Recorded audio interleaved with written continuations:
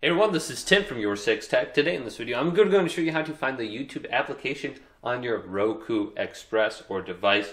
So we're just on the home screen here. We want to scroll on down to search and then simply type in YouTube and you'll be able to find the application.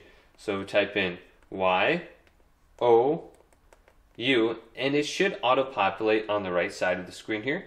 So if we go on down to channels, we can see the traditional YouTube application then we have YouTube TV. So simply select YouTube and then install it on your device right here. So we can see it right here.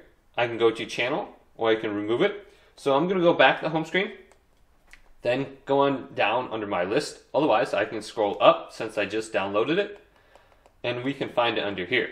So once we find YouTube, we want to move it to the top. So I moved it to the top at one point. So go to the remote press the asterisk button right next to the voice icon. So it says press the asterisk for options. Then you can go to this, you can remove the channel, or you can go to move channel. So I'm going to move it back to the top right here. And then I can find YouTube very easily in the future.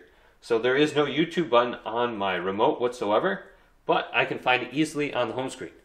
So if this video did indeed help you out, leave it a big thumbs up and subscribe to my channel down below for more tech up videos coming up next on Your 6 Tech.